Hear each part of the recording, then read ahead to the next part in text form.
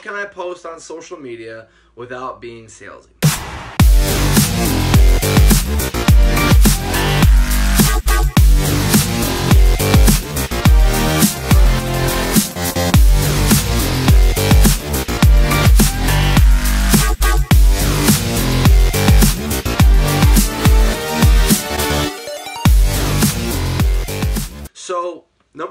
A couple things that you can you can fix immediately on your profile is make your profile public. Okay, make it public, make it public, make it public.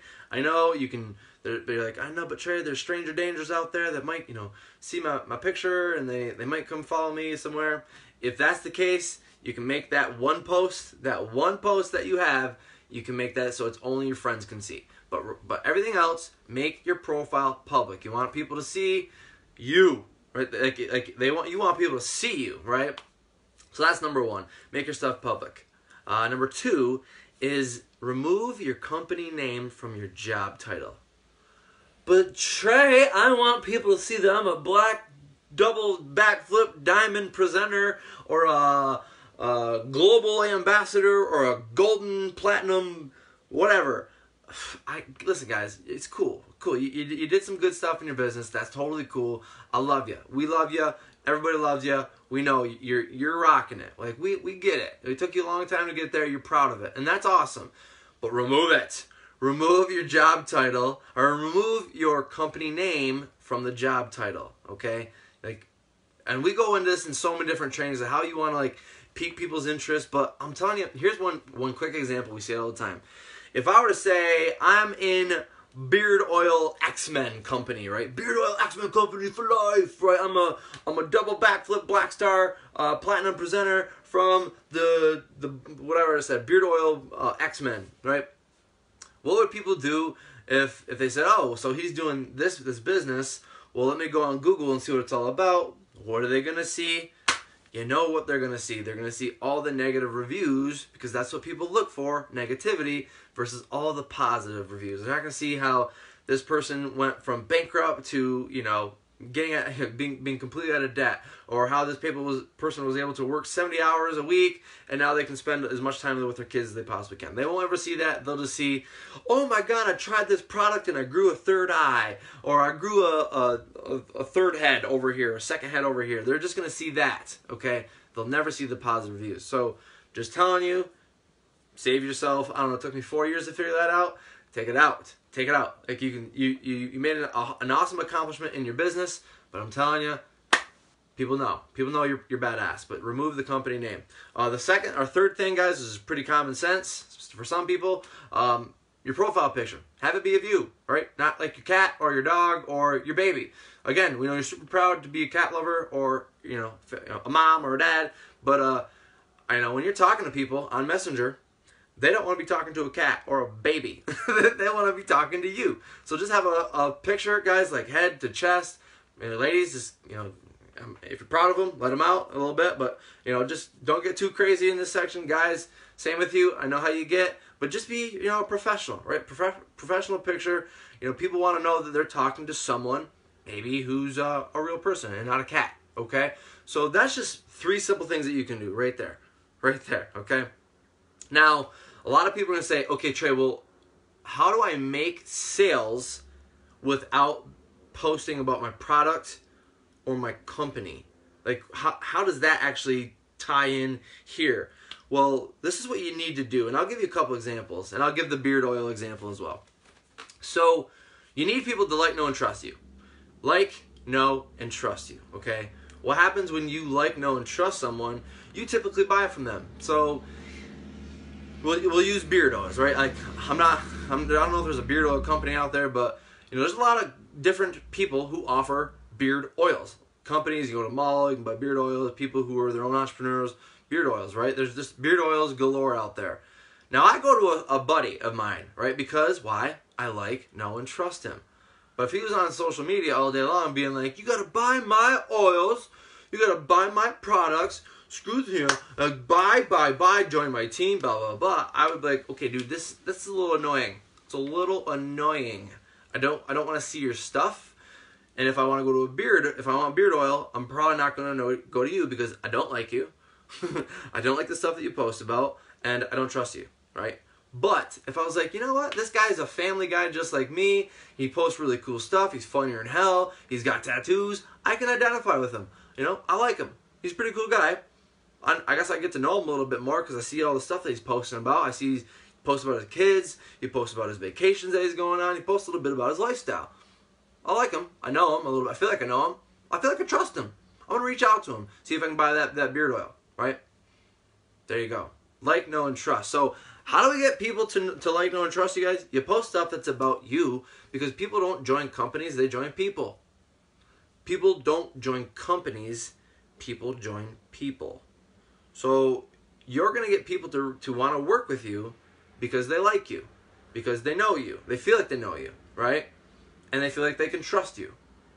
Right? And we've all, yes, Heather, and we've all seen your ass. I'm sorry. I know I post a lot about my butt cheeks online. I'm so, I'm really sorry about that. That's got to change. I gotta I gotta be professional around here. I gotta be professional. I gotta stop posting the butt cheeks. But here's here's how you can figure out what to post, right? And I'm gonna give you a little bit more tips. So stay tuned. Just don't don't don't leave yet.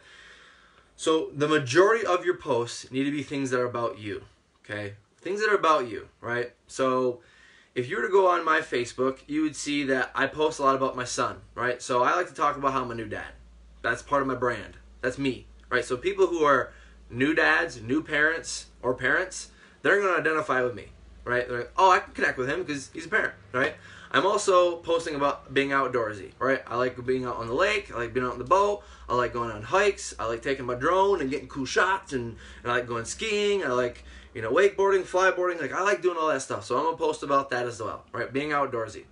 I'm also an entrepreneur, so I'll post stuff like motivational quotes, or um, I'll even share a little bit of what some of the stories that I'm going through as an entrepreneur, right? Motivational quotes are, are pretty easy because you can find all of those all over the place, right? But that identifies with I'm an entrepreneur, um, I'm an outdoorsy guy, and I'm a new dad. Um, I'm also uh, about to be a husband, so I'm posting a little bit about you know, getting ready for the wedding. Like, holy shit, huh, please send in your RSVPs. I'm, just, I'm just saying, right? So, like, think about the things that you're about, right? So, maybe you are um, a yogi, right? You love yoga. Or maybe you're a horseback rider, or maybe you're a surfer, or maybe you are a gardener, or maybe you're a, you know, I'm just gonna bring a whole list because I wrote them all down. Maybe you are a family person, maybe you enjoy travel and like road trips and adventures, right? The wanderlust life. Maybe you're a wife, uh, maybe you're a motorcycle rider, okay? Um, new dad, maybe you're a, a boxer, so maybe you're into fitness, right? Or you're a dog mom or a hot mess mom. I've seen some people say hot mess mom. I'm like, hell yeah. I don't know what that is, but I love it, right? So that's what you're gonna post about. I would. This is what I would do. I would. I would pick up my five. My five. What are your five things that are about you? And then I would sprinkle that in through your post. Like so yesterday, I think I posted about being an entrepreneur and just kind of the things that we're going through as a business owner. There you go. People know I'm always going to post entrepreneur stuff. I post funny stuff. There's another thing. So I like posting humor. People can always say, "Oh my god, that dude's so funny." Or I can always go to if I ever want to like have some uh, positive for my day. Oh, let's go see what Trey's doing. Boom, humor. So Chastity, I'm going to use the example. Dog mom, entrepreneur, loving exercise. She's engaged, cat mom, and a coffee lover. There you go. Right. So those are things that she can be posting about all day long because she's going to connect with dog moms people who are entrepreneurs or that like that entrepreneurial lifestyle, people who like fitness, exercise, maybe other people who are engaged or about to be engaged or are married, right? Cat lovers as well and coffee lovers as well. Soldier board, right? So so think about that guys. Post majority of your posts about that. And what you're going to do is you're going to become more attractive. What are you going to do? You're going to attract other dog moms, other surfers, other outdoorsy people, right? You're going to attract them into your team and into your business, right? Boat builder, boater, horse trainer, entrepreneur, 50 plus years old, have no shame, fit struggle. Oh yeah, all right? So guys, and so here's a question. Lisa just asked, how many per day would you recommend time between posts hourly? Holy Lord. So you got to think, you got to think about the I always want to always always always keep in mind what's the busy parent with a full time job, three kids. She has obligations out the ass. She's got to take kids to hockey practice, soccer practice, yada, yada, yada. Is she going to have the time to sit on Facebook and post 10 times a day? No. Right? That's not duplicatable because your audience is going to see, holy Lord, they posted 10 times a day. If that's what it takes to do this business, I'm not going to do it. They're watching you, okay? So I'm, I would do two, two day most. Like one a day, I'm happy. But I'm not trying to be tied down by social media, right? I'm just trying to just post, post, just post, right? So it doesn't have to be hourly. Just, just don't, don't get crazy. I know some people like five times a day, no matter what. Right? You're like, geez, man, take it easy. Stop eating so much spinach. Like, relax just you know one or two times a day yeah just chill just post stuff that's about you and again you know if you've ever watched my my branding like a badass workshop completely free you'll see we talk about my five help you develop your five and you can take an hour of your week and create all of your content for the entire week. Quality over quantity. Devin i love that right? So lisa does morning noon and night. Those are three hot times on facebook right? So just see you got to think about when you when are you on Facebook, right? I'm on Facebook first thing in the morning when I'm pooping. And don't call me out because I know you are on Facebook when you're pooping as well. Don't try to call me out and make me feel weird. You guys poop and scroll and we know it. It's fine. Acceptance. The second time that I'm mostly on Facebook is when I'm laying in bed just chilling, right? I'm just chilling right on bed. So those are the two times I'm probably going to post. Pooping and scrolling. Pooping, scrolling in bed. Pooping, scrolling in bed. And you know it, you poop and scroll. All right? So here we go. The big question, guys. Big question. How do I make posts that create sales? This is gonna, some people right now are like, okay, he's gonna spill it right here. Um, he's gonna spill it. Some people are gonna hear it and they're like, yeah, but I've done that like twice and it doesn't work. Yeah, but like, how do you, how do you, don't you wanna, no, I'm not gonna do that. Screw it. Who wants to join my team? Five spots left. I'm telling you, this will work as long as you just do it and you stay consistent with it. So, again, majority of your posts need to be attractive, attracting people to you, right, that are about you. But you can sprinkle in, you can sprinkle in little, I guess you'd call them little jabs, right? Little, bit jabs. Little curiosity posts that pique people's curiosity, being like, mm, what is it that he's doing? What is it that she's doing, right? So how can you have those? This will create sales. Actually, this is what it'll do. It will create people to want to, say what is it that they're doing, right? They want to know what you're doing. And what they're going to do instead if you here, we'll go back to the Google example. If you said, this is what I'm doing. Oh, it's right here in my job title. It's on my profile picture. It's on my cover photo. And uh, if you look at my timeline, I only post about it five times every three seconds. they'll know what you're doing and they'll go to Google, right? But if they don't know what you're doing, and you're piquing their curiosity, like, what is it that they're doing? You know what they're going to do to you? They're going to reach out to you. They're, they're going to reach out to you so that you know, oh, this is someone who's interested. All I got to do is ask them a question, say, what is it that has you interested? Uh, you know, I appreciate you reaching out to me. What is it that has you curious? And what are they going to do, guys? They're going to tell you well, I've been watching you for a while. I see that you're making extra income. I see that you're having fun. You're going to these these cool conventions. You're surrounded by really fun people as well. I'm interested in what that is because I'm looking for that too.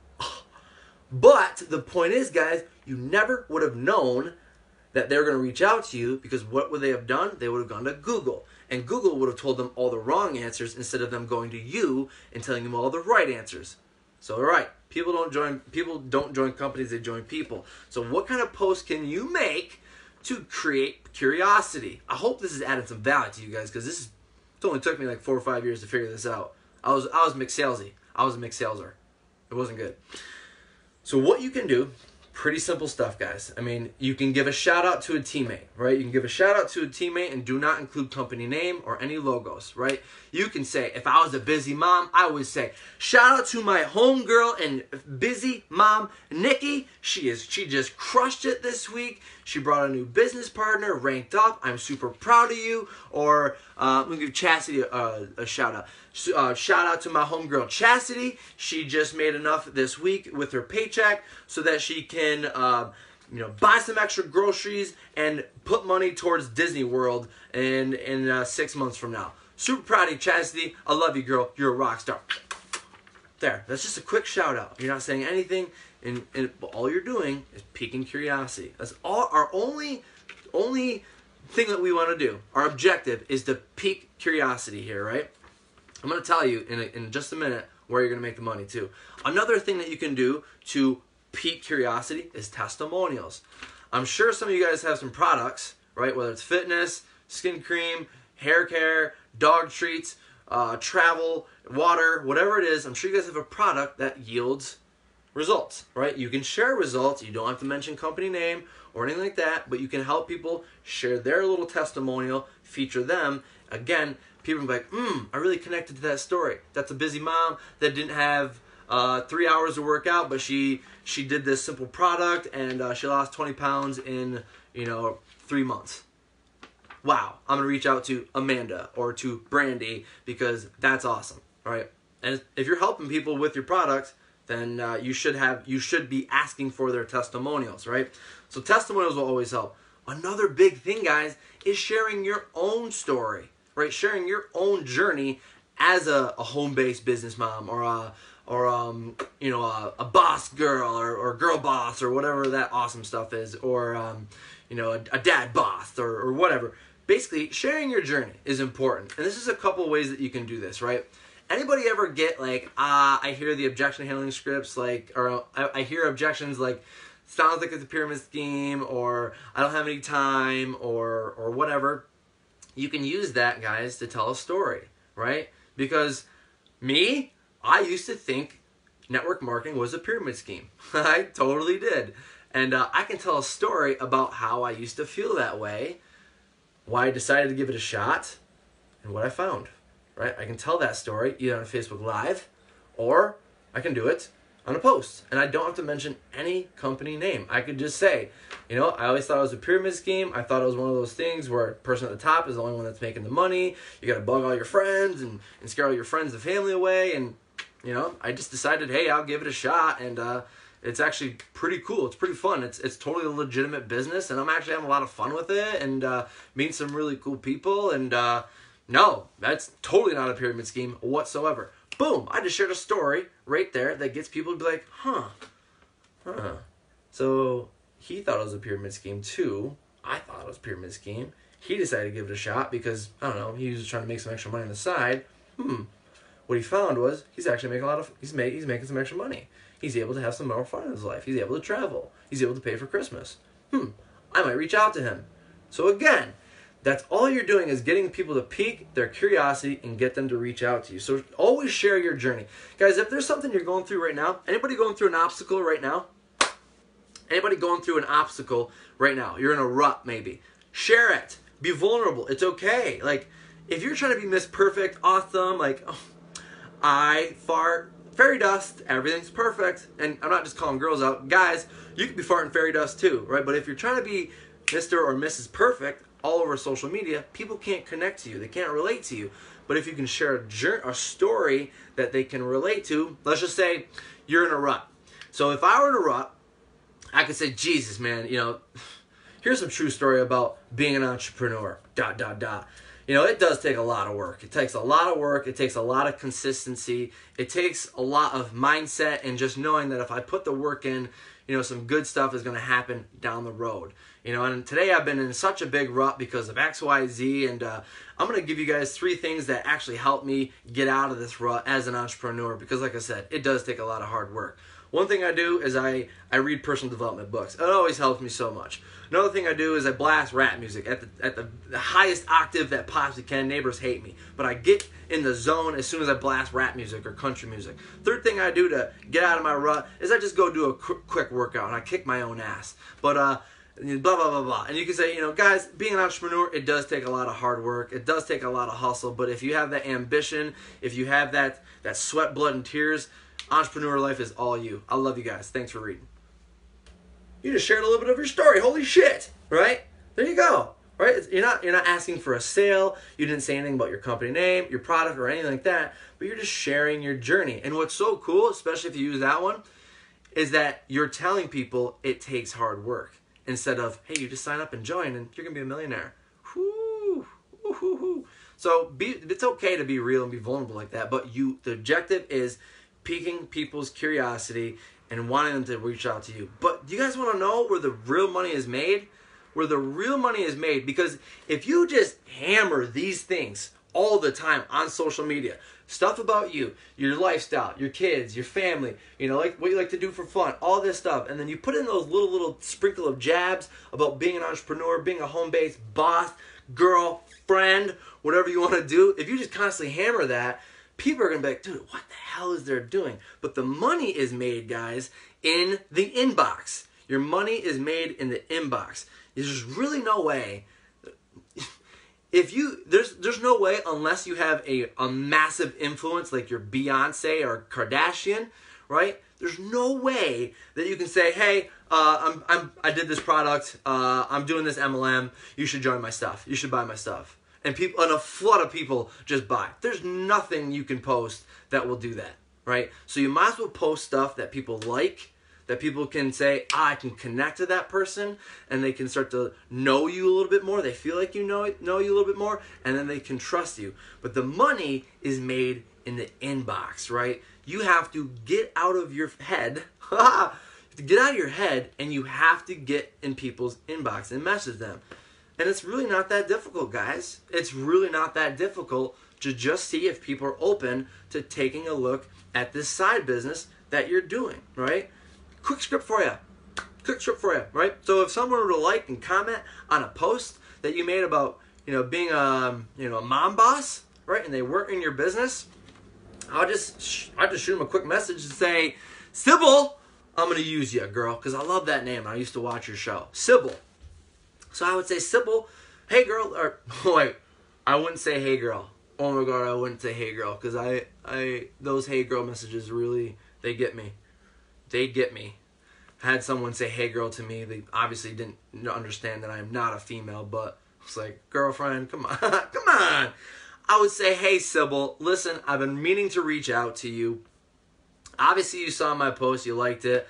Um, listen, not sure if it's your cup of tea or maybe I'm barking off the wrong tree here, but obviously, you know, I, I run a side business to, and it's a lot of fun. It's, it's been really rewarding, and and uh, we've been making some extra money on the side like I said, not not sure if it's a fit for you, but I'd be happy to share some information if you're open to checking it out. And if not, Sybil, it's all good. We're gonna still remain friends. I'm gonna still watch a TV show girl. right?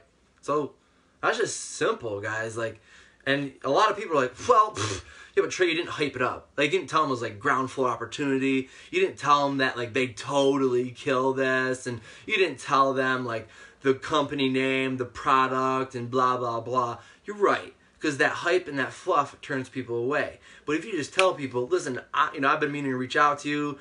Not sure if what I do is a fit for you. I'm just curious to see if you're open to checking it out. And if you're not, it's no biggie, right? That's posture is what that's called. So that's that's a big difference. And you're gonna a lot of people that ask you, what is it that you're doing? Ah, yeah, no, I've been seeing this stuff that you've been posting. What is it that you're doing?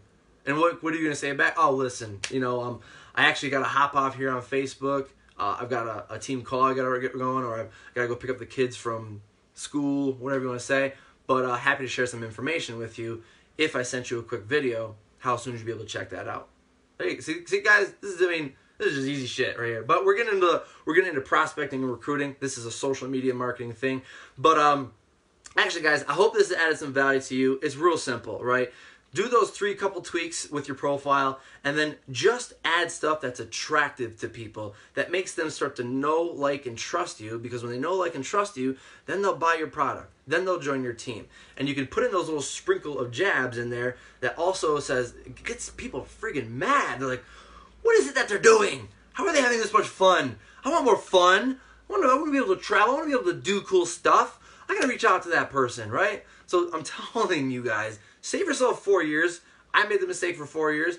Do it. Do that. Get that strategy. Don't be fixated to the outcome. Just say, "Yep, I'm gonna start working on my brand a little bit more, and I'm gonna be hitting people in the messages."